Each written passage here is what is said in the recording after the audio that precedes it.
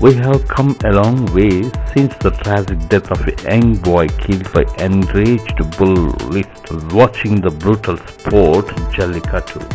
In 2006, the sport was banned after the boy's father filed a petition to the Madras High Court, but every year around the season of harvest, we have this burning ember emerge to spark debate on its varied perspective.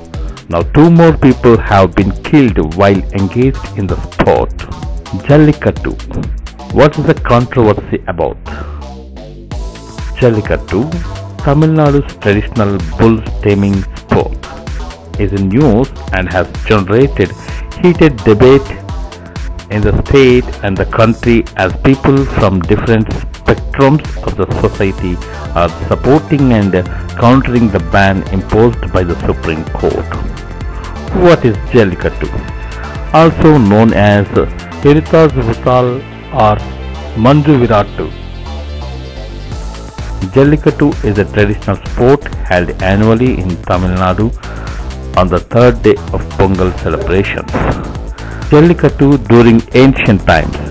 A different variant of the sport was popular in ancient India which entailed holding the hump of a raging bull and controlling it. Jallikattu in Tamil history. Jallikattu's modern avatar finds its origin in ancient bull baiting sports in Tamil Nadu, which was practiced by ancient Ayar or Yadava people of the Mullai region. Jallikattu's etymology The word Jalli means coins and Kattu is tied. During ancient period, a bag of coins was attached to bull's hump and the bull tamed has to get it successfully complete the race. Allegations of cruelty. The case was filed by the Animal Welfare Board of India in the Supreme Court demanding an outright ban on Jallikattu. It argued that the sport is cruel to animals and is a threat to the safety of public involved. Supreme Court banned Jallikattu. The Supreme Court banned it saying it is a found to violate human rights, dignity and social equality. Ban harmful for cattle breeds.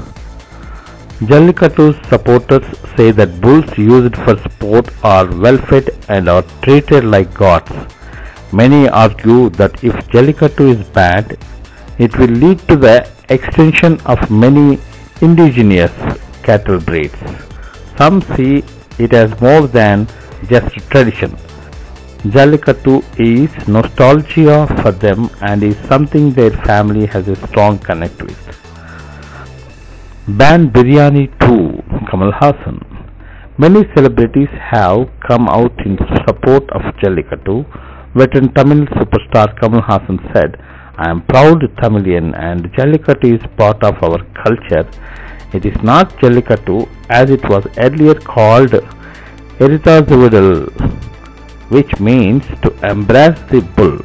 I am one of the very few actors to have played Jallikattu and I want it to be allowed. If Jallikattu has to be banned, why not ban biryani?